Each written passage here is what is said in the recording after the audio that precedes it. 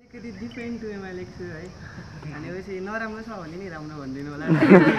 निन्द्रामा मस्तै छिन् सानी मिठो सपना देख्दै छिन्। सपनामा स्कुल साथीभाइ सबैसँग रम्दै छिन् सानी थाहा छ सानी त साह्रै ज्ञानी छ नि। सबैकी प्यारी सानी आँखाकी नानी। सानी ए सानी ल ल छिटो उठ।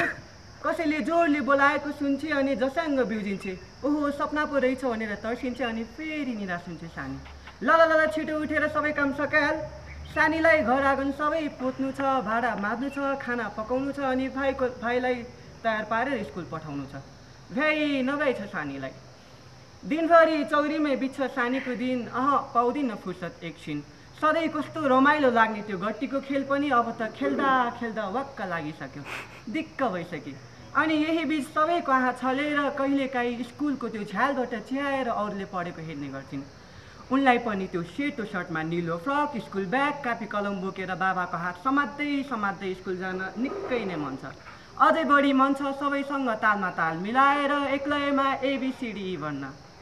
अनि कहिलेकाहीँ घरमा कोही नभएको मौका छोपेर भाइको ड्रेस लगाएर ऐनामा उभिएर हेर्ने गर्छिन्। सानी त साह्रै राम्री पो देख्छिन् त।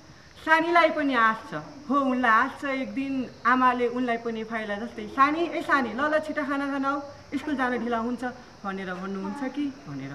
हो उनलाई आश छ। दुःखको बेला कसैले चिन्ता नलिऊ। म छु नि। भन्छ कि? भनेर। हो उनलाई आश छ। कसैले धेरै पिठ परेको बेला कसैले पिठ थपथपाएर सानी तिमी धेरै चिन्ता नलिउ न भन्छ कि? भनेर। हो। यस्तै मिठो सपना बुन्दै बस्छे लामो प्रतीक्षामा।